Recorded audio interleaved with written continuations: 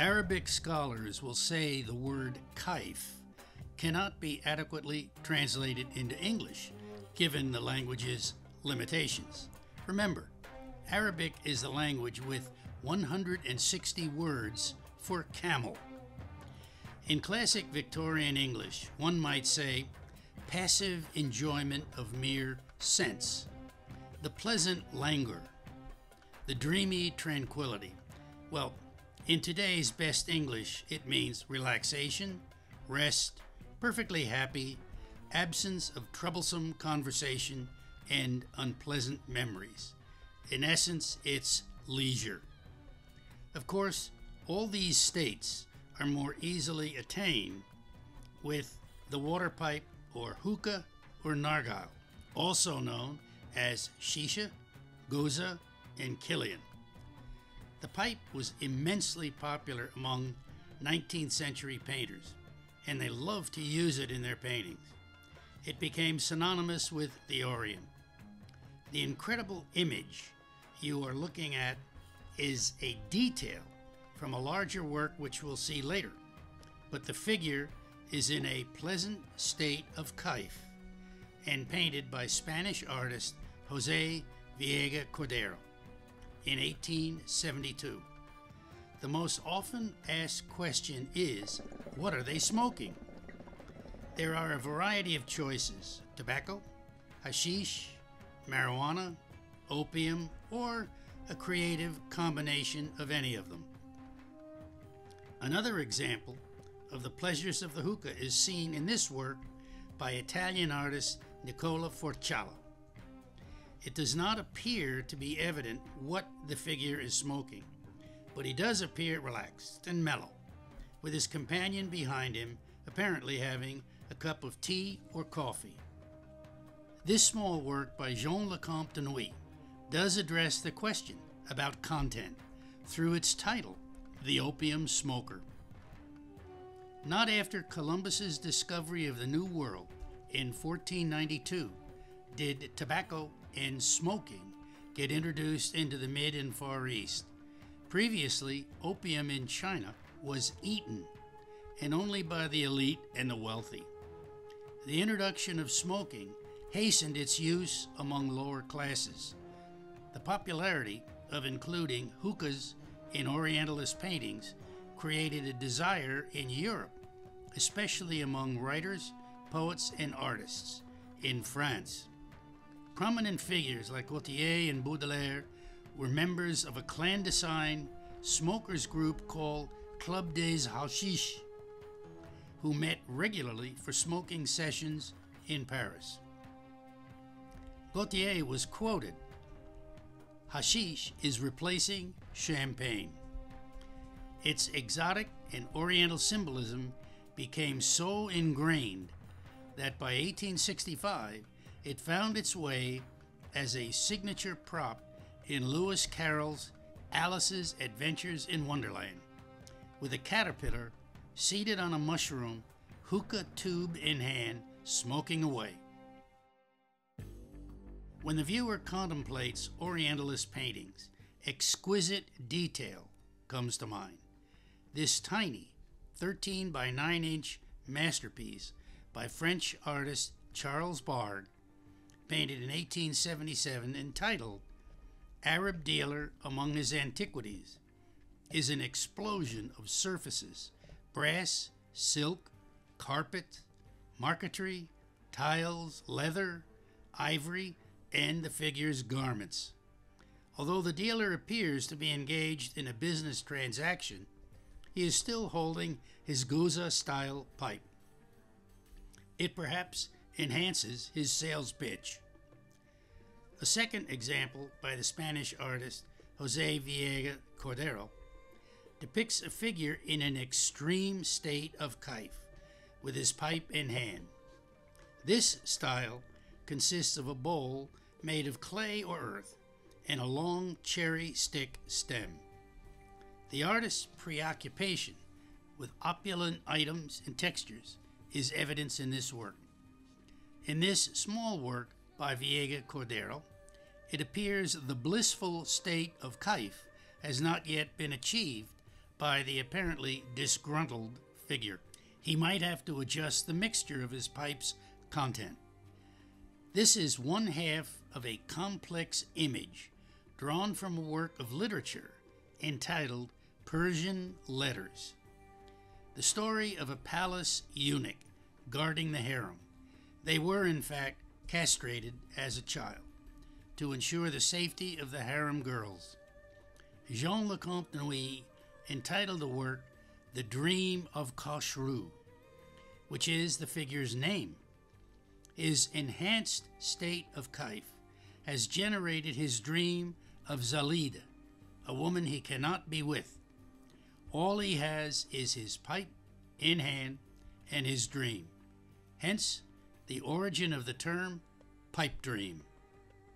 This is a second unique piece by Le Lecomte Nouillet entitled Gates of the Seraglio, which is a word for palace, a government building, or a castle. The figures are guards for the building, and I suppose are taking a break. The feeling of calm, subdued lighting, and the figures in various states of tranquility communicates kaif. The seated figure in the lower right is smoking from a beautiful goza pipe, while the figure on the top of the steps, possibly the head guard, is smoking from a long stem chibuk. Lecomte Nouillet's mastery of Orientalism cannot be questioned. This is a stunning example of wood latticework known as a mashrabia. In the Middle East, at this time, wood was rare, and rich latticework like this was a sign of great wealth.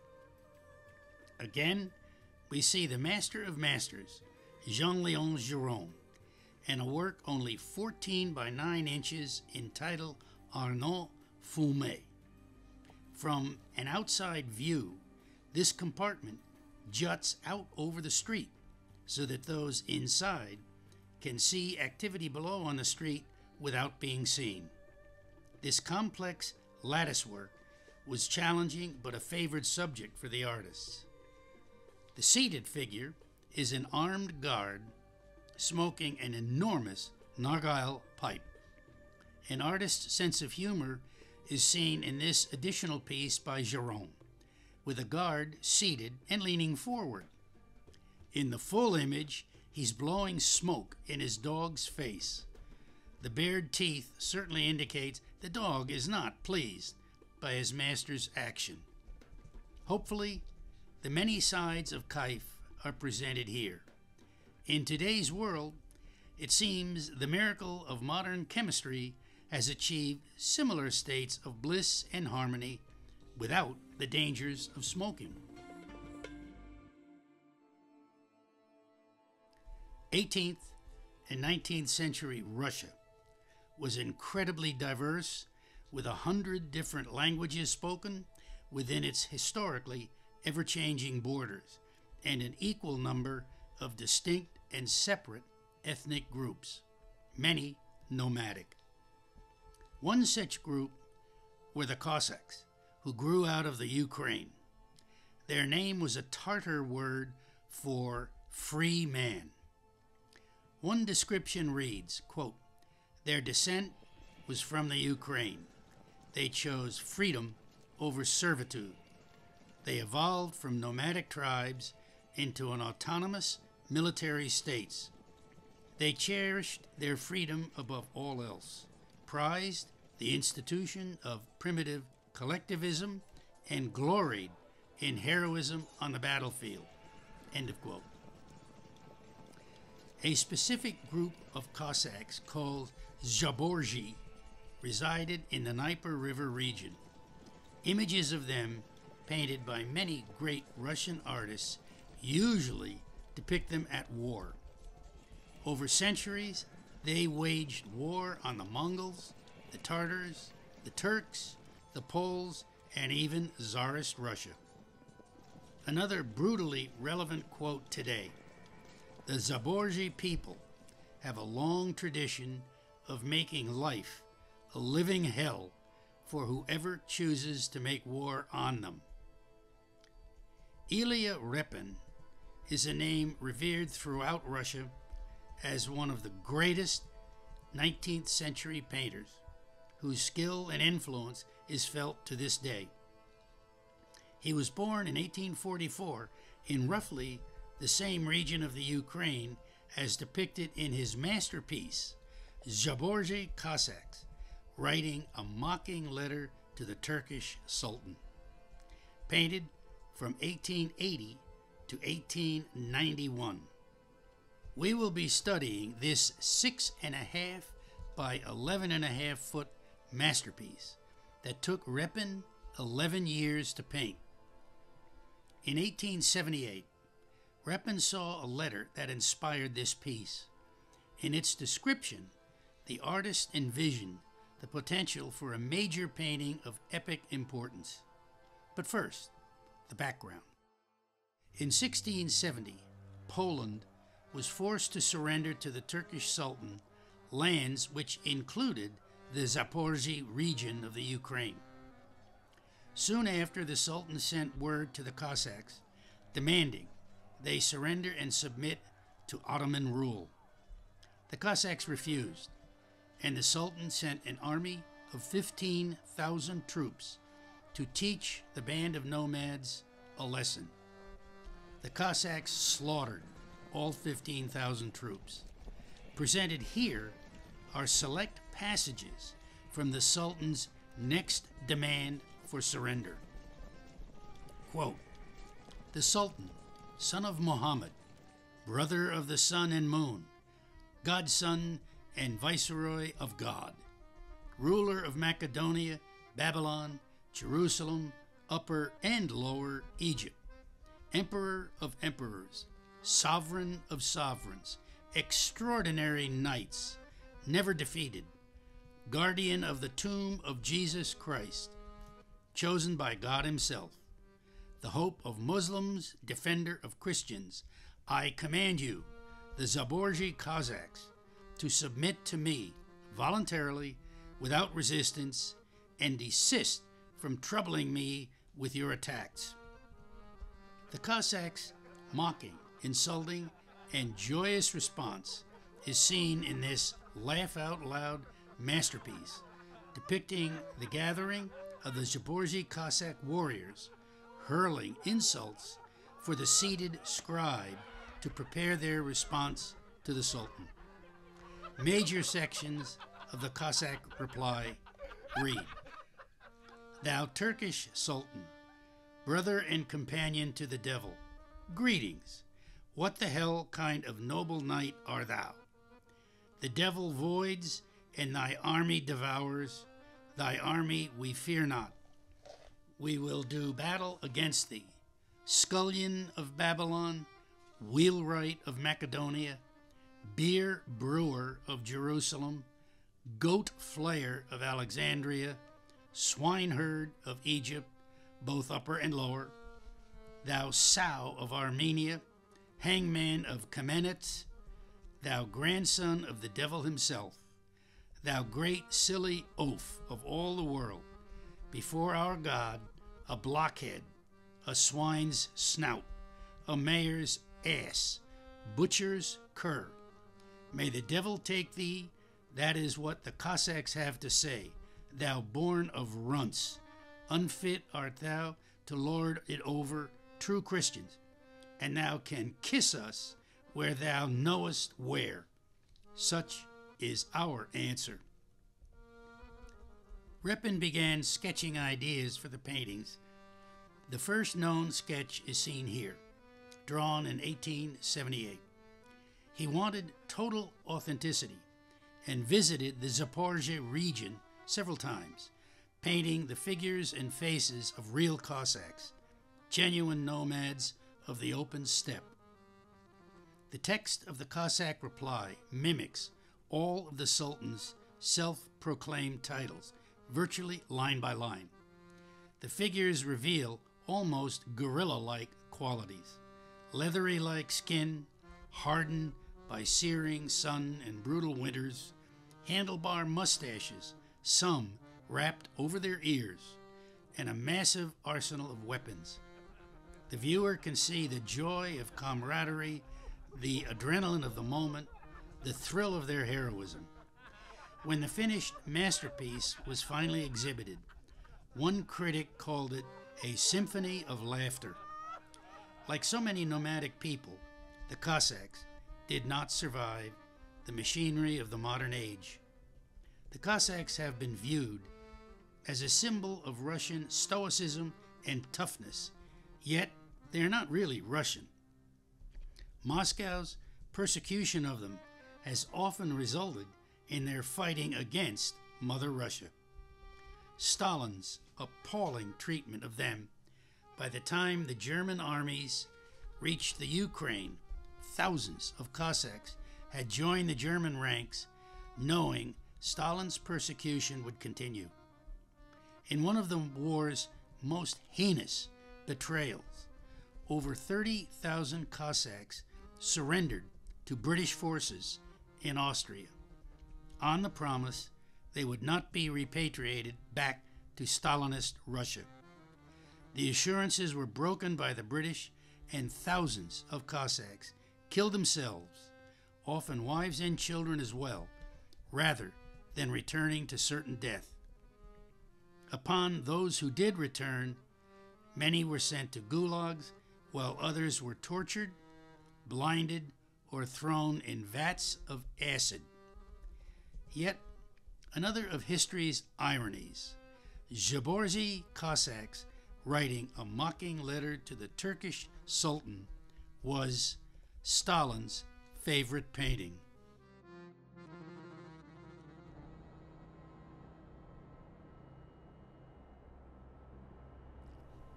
There is no debating whether eroticized images were painted, harem scenes, slave markets, etc., or thinly veiled references to colonialism, and even works by artists who never set foot in the Oriental world and created fantasies appealing to Western curiosity and heightened imagination.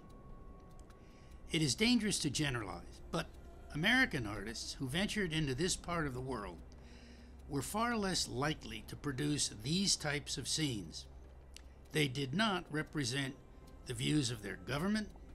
Their potential clients in America didn't develop colonial tastes, nor were they as susceptible to eroticized subjects. Perhaps most importantly, very few ventured straight into these countries. Most were, at best, only vaguely familiar with the term or seen works of the genre. To the contrary, their exposure came because their intention was to first visit European centers to study art, improve their skills, and once there, saw Orientalist paintings by their European peers and developed an excitement to visit this mysterious previously forbidden land and capture in paint what they witnessed. This was their main agenda. One of the earliest artists was Samuel Colman, the highly regarded Hudson River School painter. He first visited Andalusia, southern Spain, which reflected the long Moorish presence, and crossed over to Morocco in 1860 and 61. He returned again in 1872 and stayed for four years painting in Algeria, Morocco, and Egypt. This piece, entitled Off the Coast of North Africa, reflects the usual entry to the region was departing from Gibraltar for Morocco. Although this piece is not specifically located, a good guess would be approaching Morocco.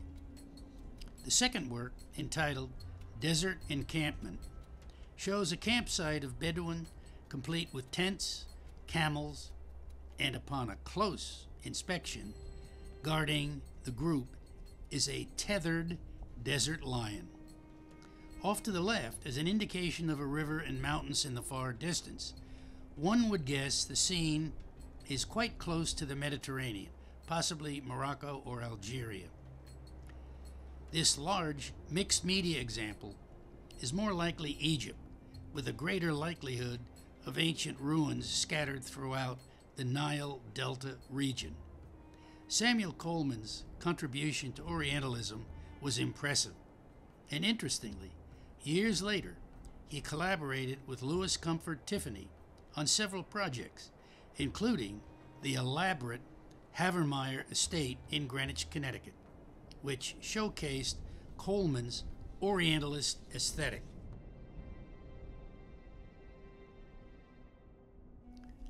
Master of the luminous style of the Hudson River School, Sanford Gifford visited Egypt and in 1869 traveled the Nile, where this work was painted, reflecting his preoccupation with atmosphere. Perhaps the masterpiece of his short two years stay is the Tomb of the Mamelukes, located in the City of the Dead outside of Cairo. This extraordinary cemetery is believed to have been built in the 1350s and dedicated to the mother of Sultan Hassan. The Scottish immigrant James Fairman painted extensively throughout the U.S. and Europe. He served as a colonel during the Civil War. This magnificent scene is the holiest of holy cities, Jerusalem, aglow with inspirational sunset effects and figures in the foreground approaching the city. In the biography on the artist, entitled The Landscape of Belief, he's described as, quote, the foremost American painter of Jerusalem in the 1870s. Henry Roderick Newman was a uniquely talented and dedicated artist who followed the preachings of the British critic John Ruskin and his pre Raphaelite approach of highly detailed style of painting. This image was painted in Abu Simbel, which we saw earlier. Newman suffered health problems and sought a more agreeable climate, which eventually led him to Egypt in 1889. He first lived on the tiny island of Philae in the Nile near Aswan, known as the Pearl of Egypt. A moment to digress. This atmospheric image captures a sense of the island of Philae, circa 1870, painted by the French artist Theodore Frère. With the first construction of the Aswan Dam in 1902 and successive buildings in 1934 and 1964, this most concentrated site of spectacular ancient ruins were experiencing seasonal floods. With further construction of the Aswan High Dam, complete destruction of the site was guaranteed. In a rare example of international cooperation, aid was forthcoming through efforts of UNESCO, enabling the complex to be dismantled into 40,000 blocks and reassembled on Agilkia, a nearby and higher level island, thus saving one of the architectural wonders of ancient world. This is a watercolor of the magnificent Isis temple complex entitled The Gateway of Philadelphus. Newman's work appeals not only for its art, but also he captures the polychrome hieroglyphic walls as they were intended before air pollution stripped them of much of their color. They are valuable contributions for Egyptologists. It is estimated that Henry Roderick Newman's painstaking, detailed, pre Raphaelite style limited him to roughly eight paintings a year. Joseph Lindon Smith was gifted a writer, actor, producer of stage plays, friends with leading figures of the day John Singer Sargent, Mark Twain, Amelia Earhart, and patrons like Isabella Stewart Gardner, in addition to his skills as an artist. Restless and a globe traveler, he visited Egypt in 1899 and found his life's calling. He visited and stayed with Henry Newman on Philae for a period. Found in Smith's papers is this rare photo of the island of Philae, circa 1900. He soon met the team of Egyptologists and archaeologists working on the famed exhibition site at Giza in the Valley of the Kings. His charm enabled him to talk his way into being allowed to enter the tomb chambers and paint detailed images of the wall reliefs and hieroglyphics, giving them a three dimensional look on the flat surface of a canvas. These were totally unique, and nothing ever like it had been seen. This is an image of a statue of Sekhmet, the lioness goddess, whose image we saw earlier in the work by the German artist Karl Werner. This piece was among the works that Smith regularly sent back to the Museum of Fine Arts in Boston, who mounted traveling exhibitions of these paintings, exposing the glories of ancient Egypt to the American public for the first time. Joseph Lindon Smith's love for Egypt did not wane. He spent virtually every summer for the remaining 50 years of his life in Egypt, and the Egyptian Museum in Cairo honored him with four exhibitions of his work, never before granted to a living artist. A cultivated weirdness is how one critic of the day described Elihu Vedder, living a bohemian lifestyle in Greenwich Village. Known as a symbolist, a mystic whose paintings were often derived from his dreams. An example, entitled Lair of the Sea Serpent, is one of many somewhat inexplicable works painted in mid 1870. It is a dream I would rather not be a part of. This somewhat disturbing image is entitled Sphinx of the Seashore, painted in 1871. The positioning of the figure is, quote, Sphinx like in the composition, but the figure appears to be an Anglo woman with red hair, inhabiting the body of a large cat like figure. This extraordinary work is entitled Questioner of the Sphinx, painted in 1863. This may be the best known painting among those basically unfamiliar with the Orientalist genre, given the frequency with which it's been reproduced over the past century and a half. It is the very essence of mysticism. It is a demonstration of the power of imagination, for it was painted two decades before Vedder ever set foot in the Orient, and yet does not diminish the importance of the piece. It represents pre-Christian world of multiple gods and goddesses, with the belief that the Sphinx held secret wonders and riddles to be solved. The kneeling figure is, quote, the questioner, attempting to learn the secrets. After a four year detour working for his father in a dry goods store, Frank Waller was able to study at City College of New York, finally exhibiting his first painting at the prestigious National Academy of Design in 1870. In less than a year, he departed for France for further study and exposure to Orientalist paintings. Within a year, barely 30 years old, he was off to Egypt and rapidly became known for his painting scenes like this along the Nile, employing the style of luminism.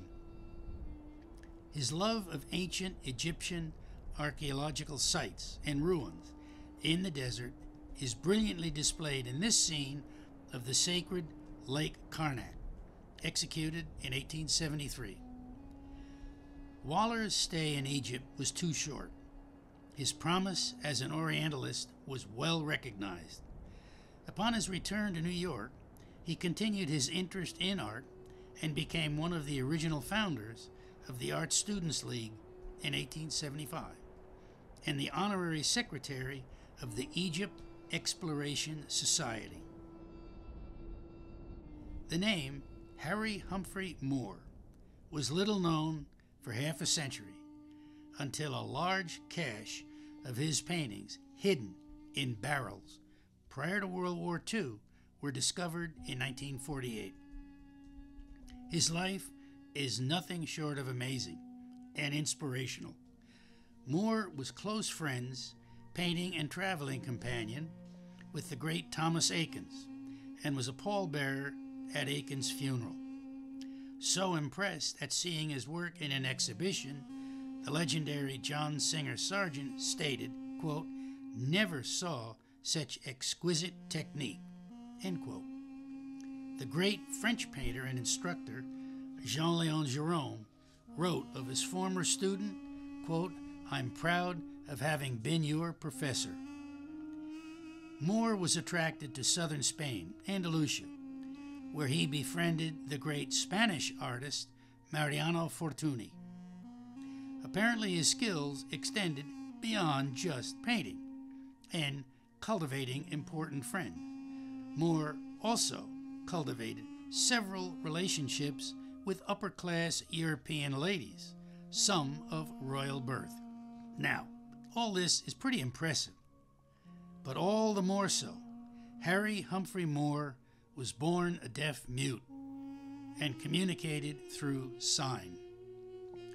Moore spent several years in Segovia and Granada. This scene is the magnificent Alhambra in Granada, considered among the greatest preserved examples of Moorish architecture. Its construction began in 1238 and was added to over the centuries, but gradually fell into disrepair till eventually it was occupied by squatters. Strangely, the event that triggered international attention and serious reconstruction was Washington Irving's publication of Tales of the Alhambra in 1832. It is now a UNESCO World Heritage Site. This is the work by Moore entitled Leaving the Alhambra and represents a person of high rank, given the figure beside him who appears to be kissing his robe. In 1872, Moore married an aristocratic Polish lady and moved to Morocco for two years.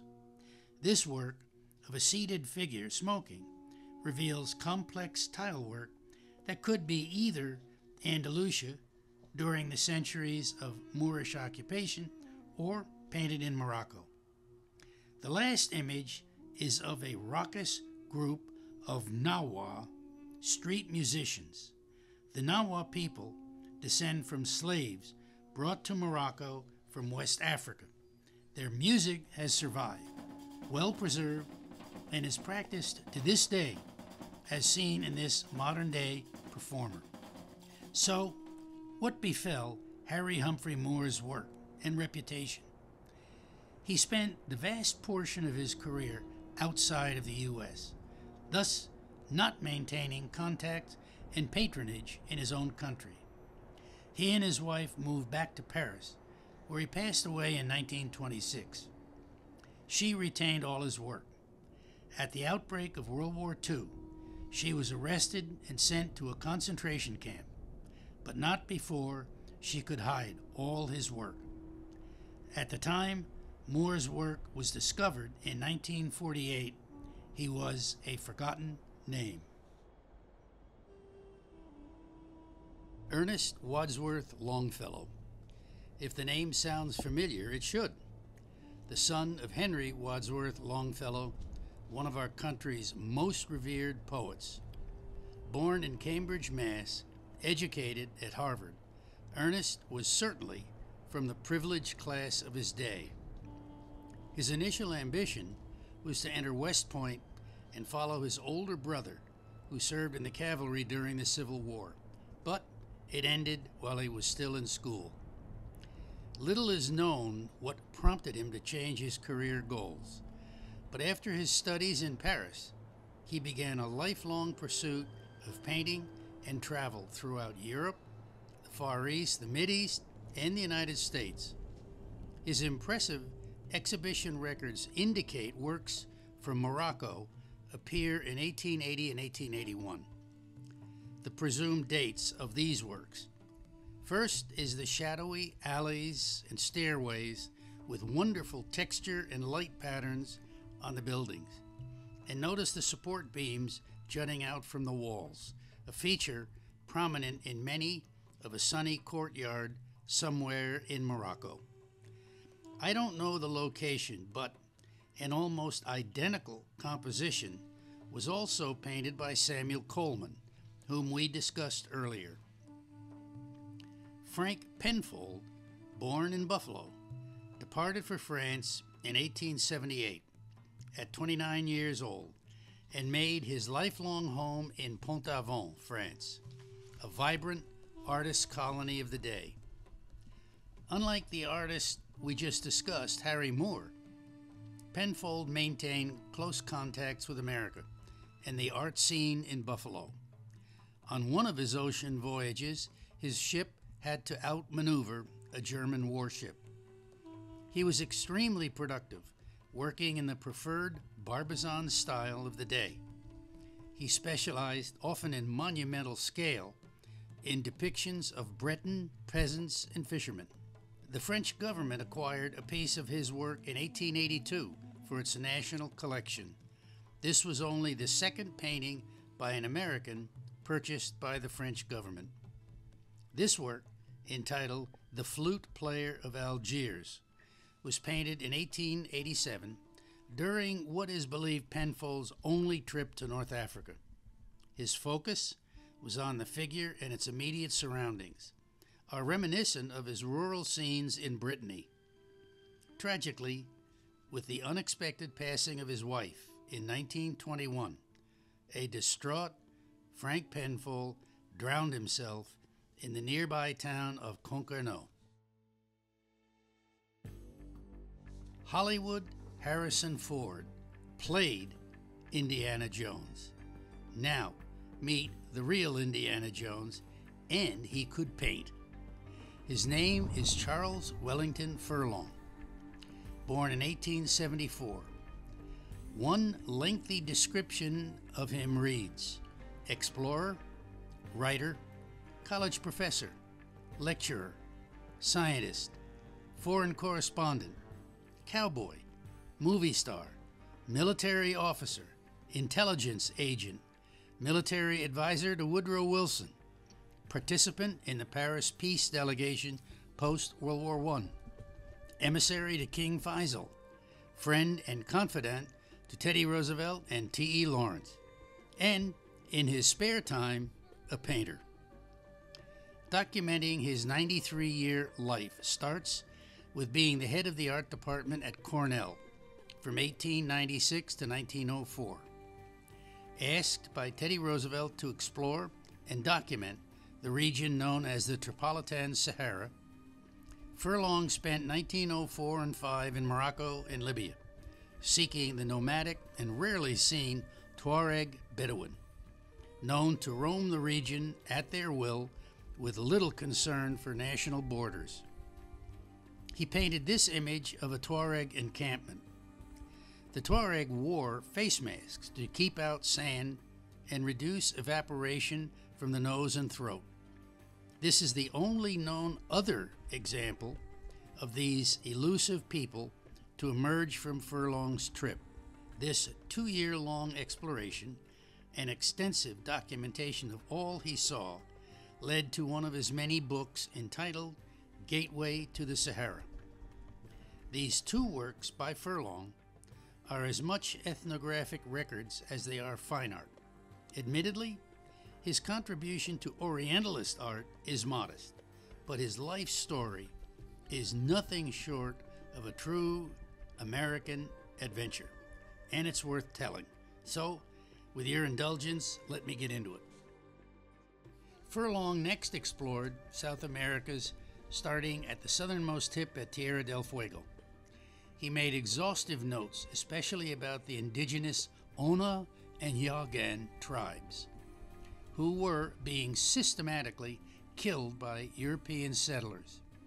These two paintings of an Onas tribesman on the move and the figure with his horse is from the Patagonian Pampas. They are both in the Smithsonian. The third image by Furlong is a Yagan magician preparing for a dance ceremony. Furlong's petitions to save these people predicted their extinction. They were ignored. As of the 1950s, they were declared officially extinct. Furlong continued exploring the 1,500 mile long Orinoco River with detailed observations and reports. This five year period resulted in health problems, and Teddy Roosevelt told him to go west to recover. Furlong begins ethnographical studies of the Crow and Blackfeet Indians in 1914. While in the Northwest, he responds to a cowboy's insult about being a quote, Eastern dude. And he enters the bull riding contest at the Pendleton Rodeo in Oregon. Having never seen a rodeo or a bull, Furlong stays aboard for 12 and a half seconds, setting a record that lasted for decades. He next leads a three year expedition to West Africa for the Harvard Museum.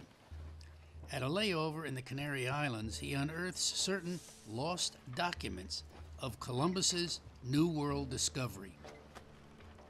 During this trip, the liner Lusitania is sunk, and he offers his services as an officer in the Massachusetts Naval Brigade. During World War I, he creates a Geographic Military Intelligence Division and writes extensive observations on Russia, Siberia, and the East. In 1918, he's made a delegate at the Paris Peace Conference and serves as military aide to President Wilson and befriends T.E. Lawrence. In the mid 20s, finds Furlong as an intelligence officer in the East, emissary to King Faisal, and appointed to the War College.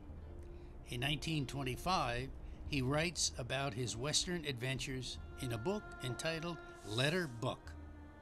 Universal Studios makes a silent movie about Furlong. Sadly, like half the movies made prior to 1950, it is lost. No copies of it have survived. Another two year trip to South America, where he settles a boundary dispute between Peru and Chile and he visits the appalling prison in French Guiana. His follow up report results in shutting down Devil's Island Penal Colony, depicted in the movie Papillon. In 1929 and 30, he's back in Africa, exploring Kenya, Tanganyika, the Belgian Congo, and Sudan. He was the first white man to live among the pygmies of the Ituri forest and he finds the last surviving member of the Stanley expedition. Throughout all this, he's constantly submitting articles on a staggering array of topics. 52 years after his bull riding episode, Furlong is invited in 1966 at 92 years old to be the Grand Master of the Pendleton Westward Ho Parade. Somewhere, he acquired expertise in Arctic exploration, and he became the assistant curator of the Arctic collection at Dartmouth College in 1962.